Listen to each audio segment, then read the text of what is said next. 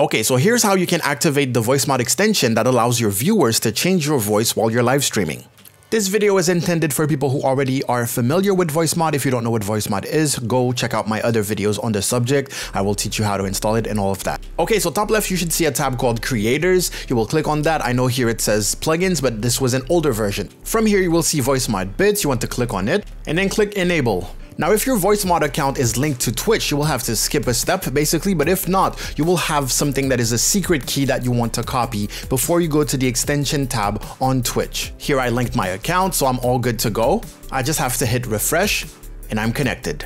Now, step two is to go to the extension page on Twitch. This is the VoiceMod extension page on Twitch. We're gonna go top right and click install. Then click configure. And this is where you can copy paste your secret key in case your VoiceMod account is not linked to Twitch. In my case, I'm all good to go. Now I'm gonna go back to my Twitch page and add a new extension panel. Click on the plus and then extension panel. Here we can click on extension manager and then find Voicemod, then set it to panel one.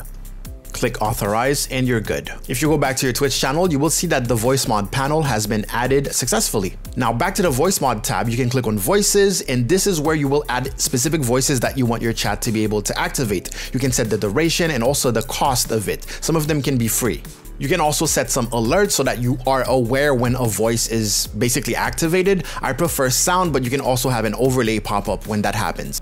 After that, the voices that you added will appear on your Twitch extension panel for Voicemod. And um, yeah, that's pretty much it. Let me know what you think of those quick tip videos. I plan on making more and uh, go follow me on Twitch. Now go out there, make me proud, Gael Level, out.